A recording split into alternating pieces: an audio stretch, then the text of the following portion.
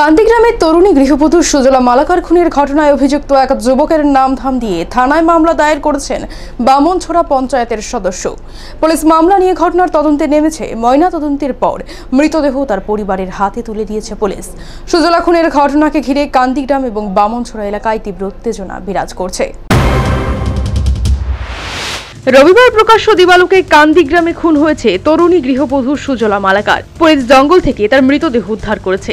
এই খুনের ঘটনায় জড়িতদের পুলিশ এখনও গ্রেফতার করতে পারেনি। সোমবার হত্যাকাণ্ডের সাথে জড়িত থাকার অভিযোগ এনে রাহুল ধর ওরফে মরণ, পিতা রানুধর বাড়ি কান্দিগ্রামের বিরুদ্ধে কমলপুর থানায় মৃত গৃহবধূর আত্মীয় তথা বামনছড়া পঞ্চায়েতের সদস্য নিত্যরঞ্জন শুক্লবৈদ্য খুনের মামলা দায়ের করেন।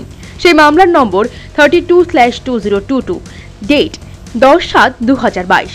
পুলিশ ভারতীয় দণ্ডবিধির three four one slash three zero two ধারায় মামলা নিয়ে ঘটনার তদন্তে নেমেছে।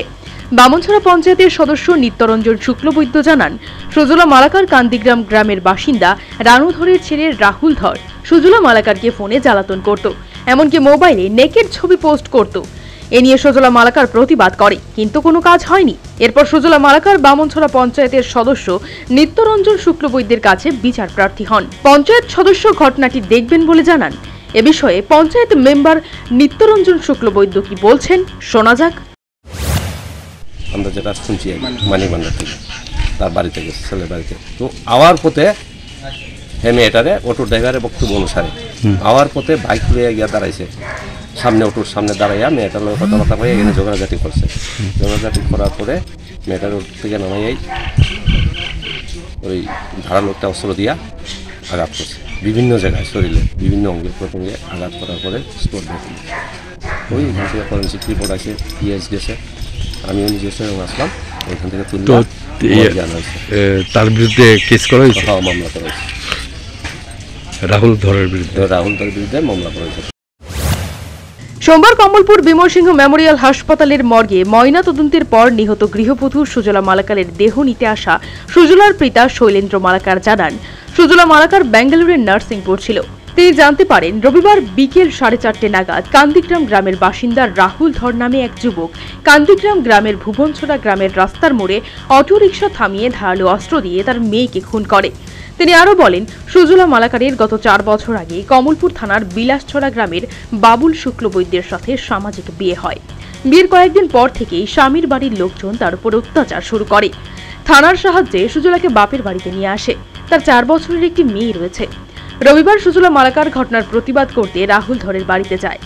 বাড়িতে রাহুল ধরকে না পেয়ে তার মায়ের কাছে অভিযোগ করে আস- আসার পথে রাস্তার মোড়ে রাহুল বাইক নিয়ে অটো রিকশা আটক করে অটো থেকে সুজলা মালাকারকে নামিয়ে ধারালো অস্ত্র দিয়ে তাকে খুন করছে বলে অভিযোগ করেন সুজলার বাবা। অটো চালক এই সমস্ত ঘটনা পুলিশকে জানিয়েছেন। তারা আমি তো কত কালকে আইসি না কালকে বুঝিয়ে তারা আসলো মানে মানে অটো যে ড্রাইভার ডুবার তারা বুঝে আসলো কালকে। অটো ড্রাইভারই করতে পারব সব কিছু আচ্ছা। অটোর যে ড্রাইভার আছে মানে মন্ডলের যে অটোর থেকে আসলো তারাই করতে পারব। তো এই ব্যাপারে আপনার মেয়ে কি মানে কারে সন্দেহ হয়? আপনার মেয়ের এইভাবে খুন টুন যে করছে এটা তো স্যার ওই কালকে ছবির মানে মোবাইল যে ছবি দিছে এটা তো দেখা গেছে হুম। অটো ড্রাইভারে খুঁজছেও নামটা কিটা নামটা তো নামটা তো আমার মনে নেই। নামটা আমার মনে নেই। রাহুল তো। রাহুল তো? হ্যাঁ রাহুল তো রাহুল ধরে খুন করতে পারে। হ্যাঁ। খুন করছে আর কি। এদিকে সুজলার মৃতদেহ বামনছড়া গ্রামে নিয়ে আসতেই গোটা এলাকায় তীব্র উত্তেজনা ছড়িয়ে পড়ে। পুলিশি তৎপরতায় পরিস্থিতি নিয়ন্ত্রণে রয়েছে। Bureau report news Vanguard.